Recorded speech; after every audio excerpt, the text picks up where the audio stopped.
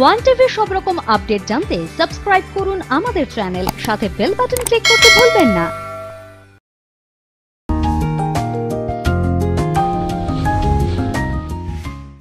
এই শীতের সন্ধ্যায় বই নিয়ে আড্ডায় মেতে ওঠার অনুষ্ঠান চ্যানেল ওয়ানে বই, আড্ডা, লিকার চা বই নিয়ে আড্ডা বাঙালির সংস্কৃতি। আজকে এমন একজনকে আমরা পেয়েছি, বই যিনি লিখেছেন অনেক বই লিখেছেন। প্রবীণ শ্রদ্ধেয় কথা সাহিত্যিক শ্রী সাধন চট্টোপাধ্যায়। সাধনবাবু আপনাকে নমস্কার। হ্যাঁ আমার নমস্কার। আমার খুব ভালো লাগছে যে আজকের এই সন্ধ্যায় এই চ্যানেল ওয়ানের এই নামটা বেশ ভালো সুন্দর দিয়েছ। সেটা হচ্ছে বই আড্ডা লিকার চা। হ্যাঁ সাধনবাবু এই লিকার চা সঙ্গে থাকলে হ্যাঁ। মানে আড্ডাটা ভালো জমে। ভীষণ জম। আর আপনাকে যখন পেয়েছি আপনি প্রবীণ, শ্রদ্ধেয় কথা সাহিত্যিক দর্শক বন্ধুদের জন্য উল্লেখ করে রাখি। বঙ্কিম পুরস্কার পেয়েছেন গদ্য সাহিত্যের জন্য আমাদের প্রিয়, শ্রদ্ধেয় সাহিত্যিক শ্রী সাধন চট্টোপাধ্যায়। পেয়েছেন কলকাতা বিশ্ববিদ্যালয়ের শরৎচন্দ্র চট্টোপাধ্যায় স্বর্ণপদক। তার লেখা পড়ানো হয় তিনটি বিশ্ববিদ্যালয়ে, কলকাতা বিশ্ববিদ্যালয়, যাদবপুর বিশ্ববিদ্যালয় এবং রবীন্দ্র ভারতী বিশ্ববিদ্যালয়। তিনটি বিশ্ববিদ্যালয়ের পাঠ্য তালিকায় রয়েছে তার রচনা। আজ আমাদের আড্ডায় সাধনবাবু সাধনদা কথা হচ্ছে যে আপনার লেখা থেকে সিনেমা হয়েছে। হ্যাঁ। মানে এইটা আমাদের বাঙালির বারবার জানতে ইচ্ছে হয় যে আপনার লেখা উপন্যাস নাগপাশ সেটা নিয়ে সিনেমা তৈরি করেছেন রাজেন্দ্র তরফদার। তো এই অভিজ্ঞতাটা আমাদের একটু বলুন না শ্রোতা বন্ধুরা বা দর্শক যারা দেখছেন তারা শুনতে চান।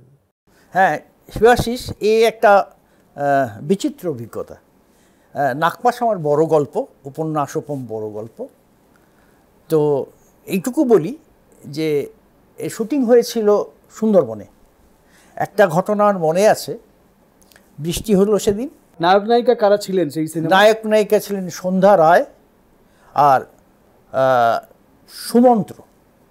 সুমন্ত মুখোপাধ্যায়। সৌমন্ত্র মুখোপাধ্যায়। তো বৃষ্টি হয়ে গেছে। বাঁধের উপর দিয়ে একটা ছুটবার দৃশ্য। ওখানে মাটিতে বৃষ্টি হয়ে গেলে অন্ত পেছল হয়ে যায়। তো ওরা বলল, সন্ধ্যারায় বলল যে রাজদা এই শুটিংটা যাবে না। রাজদা তো জান, অত্যন্ত নিয়মনিষ্ঠ মানুষ বলে, না না, কোনো অসুবিধা হবে না। হলোটা কি, খানিকটা ছুটে এসে দেখলাম স্লিপ খেয়ে অত বড় বাঁধের মধ্য দিয়ে সে সন্ধ্যারে একবার নিচে গড়িয়ে কিন্তু আমি দেখলাম যে ব্যালেন্স কী করে রাখতে হয়। অদ্ভুতভাবে ব্যালেন্স থেকে চলল। কিন্তু সেদিন বিকেলে এত অভিমান, তিনি আসেন না। রাজবাবু আমায় বলছে শান্তবাবু আপনি যান না, একটু অভিমান ভাঙার জন্য। আমি বললাম, আমি পারব না। আপনি যান। বলে আচ্ছা ঠিক আছে, বসুন। তারপরে তো নিয়ে আসার পর খুব আড্ডা হল, খুব জমে গেল খুব। তারপর এইরকম বিভিন্ন সময়ে বিভিন্ন পরিবেশ এবং পরিস্থিতির মধ্যে আমি দীর্ঘ সময় ওনার সঙ্গে ছিলাম। মাঝে মাঝে বলতেন একটা যে শুনি যে লেখক যারা লেখেন হ্যাঁ। আর যারা চলচ্চিত্রকার পরিচালক যারা সিনেমা করেন হ্যাঁ। সেই সিনেমা তোলার পরে লেখকদের অনেক সময় পছন্দ হয় না। মানে অনেকেই অনেকের কাছে বলতে শুনি তা আপনি ধরুন একটি নারী চরিত্র কল্পনা করেছিলেন সেই চরিত্রে সন্ধ্যা রায়কে যখন রাজেন তরফদারের মতো পরিচালক নির্বাচন করলেন আপনার পছন্দ হয়েছিল? আমার যে নাগপাশ গল্পের যে নায়িকা সেটা সন্ধ্যা রায় ছাড়া ওই মানে একটা গ্রামীণ পরিবেশ ওই দীপ্ত দৃঢ় তার চরিত্রের ব্যাপার আমাকে প্রথমেই উনি বলেছিলেন যে এই চরিত্র যা এ তো সন্ধ্যা আমি হ্যাঁ হ্যাঁ সন্ধ্যা ঠিকই আছে চরিত্রটা। আপনি তো সুন্দরবনের ওপরেও বা- অনেক লেখা লিখেছেন। হ্যাঁ আমার সুন্দরবনের উপরে উপন্যাস আছে গহীন গাং। সেটা আমি ওখানেই কেননা যেদিন শুটিং থাকতো না আমাকে ডাকতেন রাজেনবাবু। সদবাবু চলুন। ওই লঞ্চ নিয়ে আমরা ইন্টেরিয়ারে আমি এমন জায়গায় গেছি যেখানে বসতি নেই, একেবারে খাড়ির মধ্য দিয়ে গেছি। তা এই যেতে যেতে ওখানে একটা গ্রামে গেছিলাম, সেই গ্রামটার নাম হচ্ছে বিধবা পল্লী। আমি তো অবাক, বিধবা পল্লী কেন? তার ওইখানে এমন কোনো বাড়ি নেই যেখানে দু চারজন পুরুষ বাঘের পেটে যায়নি। তারা বিধবা হয়ে বিধবা পল্লী। আমি তো দেখলাম, বাহ! আমি তারপর রাজেন্দ্রকে বললাম যে শুটিং আপনারা করুন আপনি আমি যেতে পারব না আমি একটু এখানে যাব। এই গিয়ে দিনের পর দিন আমি ওদের সঙ্গে মিশে বাড়িতে ফিরে এসে ওদের লাইফ সে জীবন সংগ্রাম যে কী বস্তু আমি লিখলাম গহীন গান। আচ্ছা আমরা জানি যে আপনি শিক্ষকতা করতেন। হ্যাঁ। ফিজিক্সের মাস্টারমশাই ছিলেন হ্যাঁ। সোদপুর স্কুলে।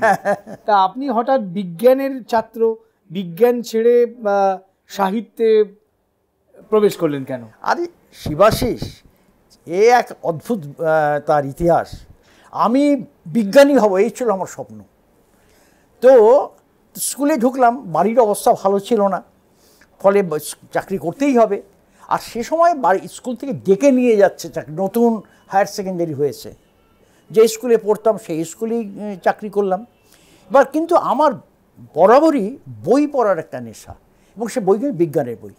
তো একটা গরমের ছুটি তা আমি গেলাম লাইব্রেরিতে বই আনতে লাইব্রেরিয়ান বললেন যে বিজ্ঞানে কোনো বই নেই। আমি তাহলে আমি একটা মাস করবোটা কি? বলে আচ্ছা ঠিক আছে। উনিও আমার মাস্টারমশাই ছিলেন। বললেন তোমাকে এই বইটা দিচ্ছি। বলে এইরকম একটা ঢাউস বই দিলে তুমি পড়ো। তো বাড়ি এসে দেখি বইটার নাম সাহেব বিবি গোলাম বিমল মিত্রের। বিমল মিত্র তখন খুব জনপ্রিয় লেখক। আমি কী করব? এইটা পড়তে হবে। কিন্তু বইটা শুরু করলাম এবং শেষও করলাম। করার পর কে যেন আমার বুকের মধ্যে বলে উঠল, এরকম আমিও লিখতে পারি। তুমি বিশ্বাস করবে না, এরপর আমার সমস্ত ভাবনা, চিন্তা ঘুরে গিয়ে আমি লেখালেখি শুরু করলাম। কিন্তু আমার তো অভিজ্ঞতা নাই, কী লিখব? এই ভূতের গপ্প অমুক টমুক করতে করতে হঠাৎ আমাদের পাড়ায় এক ভদ্রলোকের হাতে দেখি একদিন তিনি অফিস থেকে একটা বই নিয়ে ফিরছেন। তাই আমি বললাম যে বইটা, দেখি বইটা। বইটার দেখে নাম হচ্ছে পদ্মা নদীর মাঝি। লেখক মানিক বন্দ্যোপাধ্যায়। আমি সত্যি বলতে কি, আমি তখনও মানিক বন্দ্যোপাধ্যায় সম্পর্কে স্পষ্ট কোনো ধারণাও ছিল না আমার। কিন্তু ওই বইটা আমি এক রাতে শেষ করলাম। পড়ে আমার ভেতরে একটা ভূমিকম্পের মতো হয়ে গেল। আরে, এই তো লিটারেচার এই তো সাহিত্য। কীভাবে জীবনকে, সমাজকে মথিত করে দিচ্ছে? এই আমি মানিক বন্দ্যোপাধ্যায়ের প্রেমে পড়ে গেলাম। এবং আমি মানিক বন্দ্যোপাধ্যায়ের চৌষট্টিটি গ্রন্থ আমি শেষ করলাম। এবং আমার লেখার মধ্যে মানিক বন্দ্যোপাধ্যায়ের গন্ধ। আচ্ছা এই যে আপনি প্রবীণ সাহিত্যিক আপনারা যখন লিখতে এসছেন হ্যাঁ। প্রবীণ সাহিত্যিক কারোর সঙ্গ পেয়েছেন? হ্যাঁ। আমি প্রবীণ সাহিত্যিকদের সঙ্গ পেয়েছি আশুতোষ মুখোপাধ্যায়। আমি এরকম সজ্জন মানুষ দেখিনি। এবং তিনি আমাকে আমি যে তৎকালীন যুগান্তর পত্রিকায় বাগবাজারে তার অফিস ছিল যুগান্তর উনি তখন রবিবারের গল্পটা দেখতেন। এবং তিনি প্রায় গোটা তিনেক গল্প আমার ছাপিয়েছিলেন এবং আমাকে নানা সময় নানাভাবে উপদেশ দিয়েছিলেন। বেশ আসব আপনার জীবনের আপনার সাহিত্য কৃতির আরও নানা কথায়। একটা ছোট্ট বিরতি নিচ্ছি। হ্যাঁ। ফিরে আসব সাধনবাবুকে নিয়ে। কোথাও যাবেন না চলে আসছি এক্ষুনি।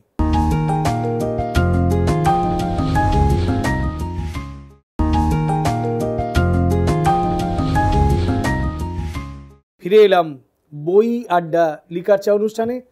প্রবীণ কথা সাহিত্যিক সাধন চট্টোপাধ্যায়কে সঙ্গে নিয়ে। সাধনবাবু আপনি বঙ্কিম পুরস্কার পেয়েছিলেন কোন বইয়ের জন্য? আমি বঙ্কিম পুরস্কার পেয়েছিলাম আমার গদ্য সমগ্র এই গল্প সমগ্রর জন্য। তা আপনার তো কলকাতা বিশ্ববিদ্যালয়ে বোধহয় ছোট গল্প পাঠ্য আছে হ্যাঁ। তালিকায়। প্রথম আমাকে কলকাতা বিশ্ববিদ্যালয় থেকে খবর দিল যে আপনার একটা গল্প আমরা ইনক্লুড করছি আমাদের সিলেবাসে গল্পটার নাম হচ্ছে স্টিলের চঞ্চু। স্টিলের চঞ্চুতে তো সবটা বাস্তবের মতো ঘটে না। একটু কিছু পরাবাস্তবতা আপনি কি বিশ্বাস করেন এমন কিছু? হ্যাঁ আমি বিশ্বাস করি যে আমরা এই চোখে যে বাস্তবকে চারপাশে দেখি সেটাই শেষ কথা নয়। এর বাইরে যেমন ডার্ক ম্যাটার হয় অর্থাৎ ম্যাটার চোখে দেখি আমরা এমন ম্যাটার আছে যাতে চোখে দেখা যায় না। এটা নিয়েই কিন্তু আমাদের বিশ্বজগৎ তৈরি। আমিও বিশ্বাস করি যে বাস্তবটা আমরা চোখে দেখছি এই বাস্তবের বাইরেও একটা বাস্তব আছে যা পরা বাস্তবতা। আমার লেখার মধ্যে আমার উপন্যাসে আমার গল্পের মধ্যে বারে বারে এইটা আসে। তা এলামি যখন ছোট গল্পের প্রসঙ্গে আপনার একটা ছোট গল্প থেকে যদি আপনি একটু আমাদের পড়ে শোনান হ্যাঁ এই দর্শক বন্ধুরা যারা দেখছেন তারা বুঝতে আমি আমার গল্পের যে ঢংটা যে কথা বলছিলাম ওই যে মানিক বন্দ্যোপাধ্যায়ের প্রভাব তার লেখা। কিন্তু পরে আমাকে কয়েকজন বললেন যে যদি তোমার লেখা থেকে মানিক বন্দ্যোপাধ্যায়ের লেখাই মতো মনে হয় তাহলে দুটো মানুষের দরকার কি? তো মানিকবাবুই আছেন। সুতরাং এটা নয় তুমি নিজের শৈলী একটা নিজের যে সত্তা এজন্য দরকার বিশ্ব সাহিত্য পাঠ। আমি গভীরভাবে বিশ্ব সাহিত্য পাঠ শুরু করলাম। হ্যাঁ, চলে যাই এবার আপনার এইবার এইবার তার ফলে আমার গদ্যে আমার গদ্যে একটা অন্য ঢং। যেমন তাই বলি, শিবাশিস, যে আমরা বেঁচে থাকি, সবটাই কিন্তু যুক্তিতে বাঁচি না, বিশ্বাসে বাঁচি। সে বিশ্বাস কুবিশ্বাস হোক আর যাই বিশ্বাস হোক। এরকম একটা গল্প আছে, বান দুশো ফুট। মাঝে একটা এ হয়েছিল যে দুশো ফুট মান আসছে। এবং এইটা বিশ্বাস করে কিন্তু বহু মানুষ, সাধারণ মানুষ, তারা কিন্তু দিনের পর দিন তারা কাটিয়েছিল। পরে সেই যখন যুক্তিটা যখন ভাঙে, তাদের মধ্যে একটা বিষাদ আসে। এই একটা এই একটা গল্প তার আমি শুরুটা করছি। তারপর সত্যি লরির ডালা খুলে দিতেই সাপগুলো বেয়ে নাপতে থাকল। হিল হিলিয়ে, জড়াজড়ি ও ফোঁস ফোঁস আওয়াজ করে ফুল পাঞ্জাব লরির চাকা, তেলের ট্যাঙ্কি কিংবা অ্যাক্সেলে দোল খেয়ে থুপুস থুপুস ঘাসে পড়েই হিল হিলিয়ে ছুটল হিন্দু জনপদের দিকে। এক লরি সাপ। কেউটে শাখামুটি চিতি, কালাজ, বেছে বেছে সর্পকুলের বিষধর যত আছে, এইসব বহিরাগত ভুজঙ্গদের পুতির মতো চকচকে খুদে চোখ প্রতিহিংসায় জ্বলছে এবং তীব্র হলাহল নিয়ে যাকে পারে ডট ডট কলাগাছের মতো তৎক্ষণাৎ ঢলে পড়বে। এত সব পায় কোথায়? দেশটা তো জল জঙ্গলের। এই যে আমাদের মধ্যে অন্য দেশের প্রতি বৈরিতা অন্য ধর্মের প্রতি বৈরিতা আমাদের মনে হয় যে তারা কীভাবে আমাদের স্যাবোটেজ করছে? মনে হয় যেন আমার আমার দেশের মধ্যে সব ঢুকিয়ে দিচ্ছে। এইভাবেই কিন্তু আমার এই গল্পটা এগিয়ে গেছে এই বান দুশো ফুটের। সন্ধ্যা আমরা জানি যে আপনি পানিহাটিতে থাকেন। হ্যাঁ। আপনি পানিহাটির ইতিহাস নিয়ে হ্যাঁ। পানিহাটা বলে একটা উপন্যাস লিখেছেন প্রাচীন জনপদ। এটা শুরু করেছেন কোথা থেকে? দেখো শিবাশিস, এটা তুমিও জানো, কেননা তুমিও ইতিহাসের পটভূমিকে উপন্যাস লিখছো কান্ন উপন্যাস তুমি লিখেছ। আমার বরাবরই ইতিহাস প্রিয় বিষয়। আমি যে জনপদে বাস করি, সেটা হচ্ছে পানিহাটি। অত্যন্ত পুরনো জনপদ, আজ থেকে প্রায় পাঁচশো বছর আগে চৈতন্য দেব এই পানিহাটিতে এসেছিলেন, পনেরোশো চোদ্দ সালে মানে পাঁচশো বছরের বেশি। আপনি কি উপন্যাসে সেটা দেখিয়েছেন? আমার উপন্যাসের পর্বটাই শুরু হচ্ছে যে তিনি নৌকা করে আসছেন নীলাচল থেকে, তিনি একবারই এসছিলেন। নীলাচলে যাওয়ার পরে তিনি একবারই এসছিলেন।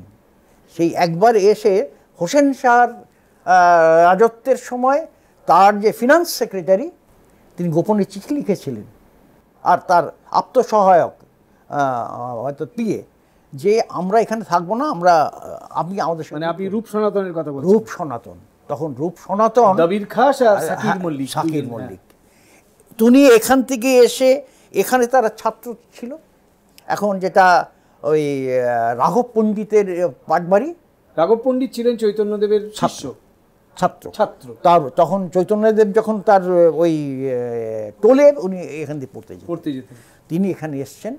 এবং তখন এই সুকচর খর্দা এই অঞ্চলটা ছিল তান্ত্রিক বৌদ্ধদের জায়গা।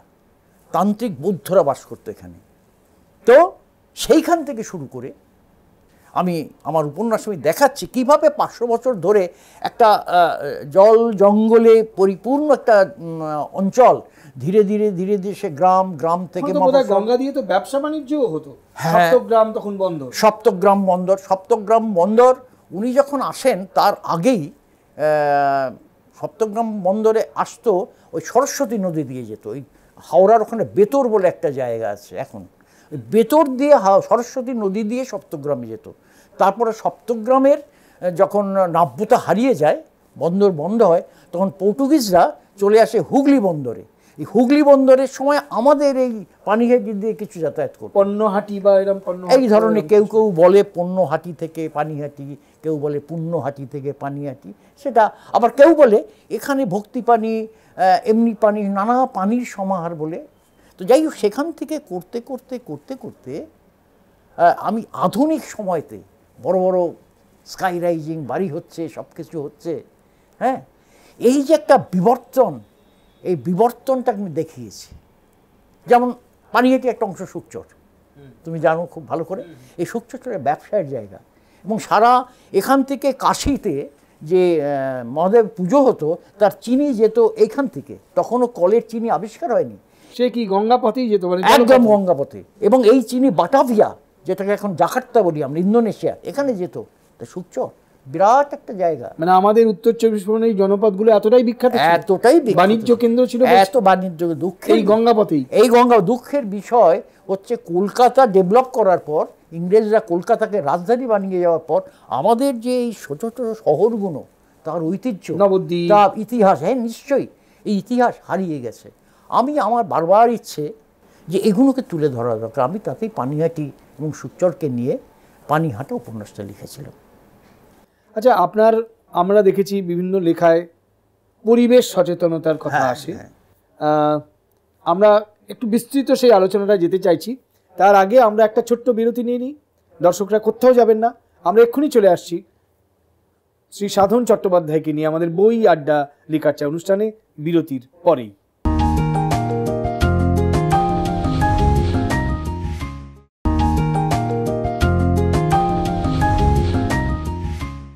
ফিরে এলাম বই, আড্ডা লিখাচ্চা অনুষ্ঠান নিয়ে।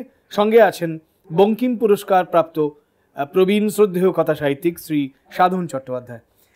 সাধনবাবু, কথা হচ্ছিল আপনার পরিবেশ যে সচেতনতা, এই নিয়ে উপন্যাসগুলো নিয়ে। এই পর্যায়ে কি কি লিখেছেন আপনি? আমি একটা কথা বলি।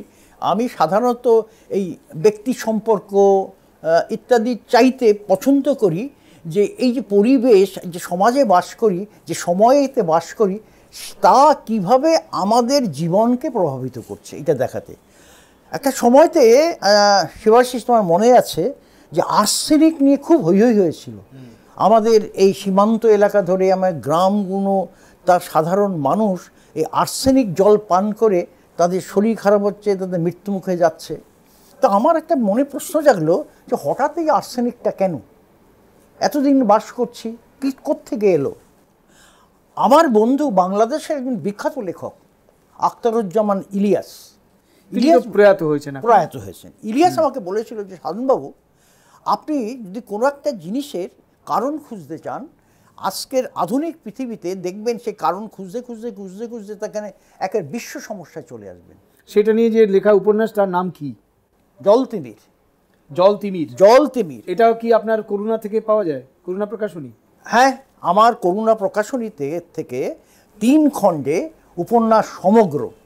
আমি প্রায় চব্বিশ পঁচিশটা উপন্যাস লিখেছি। তার একটা আমাদের খুব ইন্টারেস্টিং মনে হয় যে পুকুর চুরির কথা আমরা শুনেছি নদী চুরির কথা কখনো শুনিনি। তো এরকম একটা নদী আস্ত নদী চুরি হয়ে গেছে আমাদের ওখানে আমাদের হ্যাঁ সোনাই নদী বলে একটা নদী ছিল। সেই সোনাই নদী সেটা চুরি হয়ে গেছে এখন। এবং এটা নিয়ে এখন অনেক হাইকোর্টে মামলা ফামলা চলছে। আপনার লেখা আছে হ্যাঁ আমি একটি লিখেছি একটি আদিবাসী মেয়ে শিক্ষিত আদিবাসী মেয়ে সেই পুরনো নদী খুঁজবার জন্য দিনের পর দিন হন্য হয়ে ঘুরছে এবং তার সঙ্গে তার প্রেমিক। এবং এই স্বার্থান্বেষী মানুষরা তার প্রেমিককে নানা রকমের চার্জ দিয়ে তাকে জেল খাটাচ্ছে। মানে সোনাই নদীটা কি জায়গায় জায়গায় বুঝিয়ে দেওয়া হয়েছে? একদম একদম। দখল হয়ে গেছে। দেখলেই তুমি বুঝতে পারবে যে এইখান থেকে নদীটা ছিল পুকুরের চিহ্ন এবং সেখানে স্কুল সরকারি প্রতিষ্ঠান পর্যন্ত হয়ে গেছে। বুঝিয়ে বুঝিয়ে বুঝিয়ে বুঝিয়ে। মেয়েটি সেই সন্ধানে নেবেছিল এবং সেই মেয়েটি সেই সন্ধানে নাবে তার প্রেমিককে নিয়ে প্রেমিক কিন্তু জেল ছেড়েছে এবং শেষ পর্যন্ত গ্রিন বেঞ্চ মুভমেন্ট মেয়েটি করে করে একটা নাড়া দিয়ে দিয়েছিল। একটা সত্যি ঘটনা অবলম্বন করে কীভাবে সাহিত্যিকেরা উপন্যাস উপন্যাস লেখেন হ্যাঁ হ্যাঁ উপন্যাসটার নামটা হচ্ছে শেষ রাতের শেয়াল। শেষ রাতে শেয়াল। হ্যাঁ। এটাও তো করুণা থেকে পাওয়া যাবে। মানে এটা যদি আগ্রহী কোনো পাঠক নিশ্চয়ই নিশ্চয়ই আমার করুণা থেকে গল্পের তিনটি পার্ট সমগ্র তিনটি পার্ট উপন্যাসের তিনটে পার্ট বেরিয়েছে। এমন যার গদ্যভঙ্গি তার রচিত গদ্য থেকে কিছুটা না শুনলেই নয়। আমরা সাধারণবাবু যদি আপনি একটু পড়ে আমাদের পরে আমি শোনাচ্ছি। আমার একটু বলে নেই যে আমার লেখার মধ্যে একটা একটা দর্শনের আসতে ভালো লাগে। এই এই লেটেস্ট বইটা আমার কোনো একদিন এটার এখানে একটু শোনাই যে একটা গঙ্গা নদী পেরিয়ে অন্য জায়গায় যাবে। সেখানে হচ্ছে এ পথে তার প্রথম খেয়া পার। সে সারা জীবনে বেশি লঞ্চ বা নৌকোয় চড়েনি, জলে একটু ভয়ও পা আছে বিনার। সাঁতার শেখেনি, নীরব আত্মগত হাসি পেল তার। আজ ডুবে গেলে কোনো আফসোস বা ভয় পাবে না, বরঞ্চ মজা হবে। মৃত্যু কি কারও মজার কারণে হয়, কি জানি? ফের সে নীরবে হাসলো। হঠাৎ শুনতে পেল পুতুলের মতো বাচ্চাটা নরম ছোট ছোট আঙুল দেখে বলছে, ড্যাডি, কোথায় যায় ওগুলো? বিনার ভেতরে ধাক্কা লাগে। কোথায় যায় ওগুলো? কচুরিপানার ছোট ছোট বিচ্ছিন্ন দল বুকের মধ্যে অজানা হাহাকার ঘূর্ণি তোলে। বেশ ব্যঞ্জনা ভরাতো কোনগুলো রে? ভদ্রলোক হাসলেন। ওই যে ওই। ভদ্রলোক যত সহজে উত্তরটা দেবেন ভেবেছিলেন, সামান্য হোঁচট খেলেন যেন। কোথায় যায় ওগুলো? কি জানি মা। শিশুটির ফের বায়না। বলো না জানি কোথায় যায়? মাম্মি অর্থাৎ শিশুর মা উত্তর দিল কোথায় আবার যায়? ভেসে যায়। এই ভেসে যাওয়ার পরে বিরাট যে ধাক্কাটা এইভাবেই উপন্যাসটা একটা দিনের কাহিনী। বাহ একটা দিনের কাহিনী নিয়ে একটা দিনের। কাহিনী নিয়ে একটা গোটা উপন্যাসটা। এটা আপনি ভাবলেন কি করে? জেমস জয়েস প্রভাবিত করেছে আপনাকে? জেমস জয়েস তো প্রভাবিত চেতনা এখানে আমি চেতনা প্রবাহ করিনি। আমি দেখেছি যে একটা দিনের মধ্যে যে মানুষেরা তাদের স্মৃতি তাদের পেছন ফিরে তাকায় সেখানে সমগ্র জীবনটা চলে আসে। তা আমি যদি সেইভাবে একটা দিনে বেঁধে রেখে স্পেসটাকে একটা দিন করি আর টাইমটাকে যদি খুব লম্বা করে দেই তাহলে উপন্যাস কেমন হয়? টাইম আর স্পেস নিয়ে এই যে আপনার এত রকমের এক্সপেরিমেন্ট হ্যাঁ। এগুলো আপনি ওই যে পানিহাটা বা এরা ধরনের উপন্যাস নীল বিদ্রোহের সময় নিয়ে আপনি তো একটা উপন্যাস লিখেছেন হ্যাঁ। আমার একটি বই আছে বুলবুলিতে ধান খেয়েছে। বুলবুলিতে ধান খেয়েছে? আমি দেখাতে চেয়েছি যে নীল চাষিদের উপর নীলকরদের যে অত্যাচার আজও এই যে ফরেন এনজিওরা আমাদের দেশে আসে আমাদের সাধারণ মানুষ উপকার করার নামে তাদের উপরই কিন্তু এক ধরনের খুব সূক্ষ্ম অত্যাচার যেটা আমরা আপাত চোখে দেখি না সেটা করে যাচ্ছে। আমি এই এই বিভিন্ন সময়ে যে তথাকথিত বুলবুলি যারা ধান খেয়ে যায় আমার দেশের ধান খেয়ে যায় তাদেরকে নিয়ে একটা উপন্যাস লিখেছি। খুবই ইন্টারেস্টিং এই এখন যারা এনজিও গুলো আসে কীভাবে তারা আমাদের চাষিদের এক্সপ্লয়েট করে বলে আপনার নানাভাবে। আজকের আমার দেশের এই যে কথাটা বললাম না যে আর্সেনিকে আক্রান্ত হচ্ছে তার প্রধান কারণটা হচ্ছে যে সারা পৃথিবীতে যারা বীজ নিয়ন্ত্রণ করে তারা এমন বীজ দেয় যে বীজে প্রচুর জল লাগে। আর সেই জলটা আমি তুলি আমাদের ভূগর্ভের জল। আর ভূগর্ভের জল যত নিচে যায় তখন পাইরাইট স্তরের সঙ্গে একটা প্রতিক্রিয়া হয়ে আর্সেনিক তৈরি হয়। তারা সমস্ত কিছু নিয়ন্ত্রণ বিশ্ববাজার ওই বীজ নিতে হবে। ওই কারণে আমাদের যে দেশে পুরনো ধরনের চাষ উঠে গেছে। পুরনো পুরনো বীজ হারিয়ে যাচ্ছে। একদম। জাতির। আজ কোনো বীজ রক্ষা করা যাবে না। আজকে একটা অদ্ভুত চাষ হচ্ছে যে চাষের চাষিরা সে বীজ আগেকার দিনে কি হতো?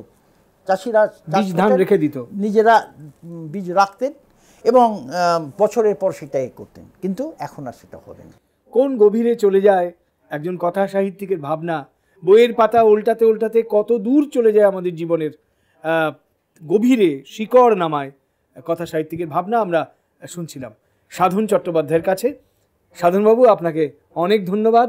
নমস্কার। আজকে শেষ করি বই আড্ডা। लिकाछा अनुष्ठान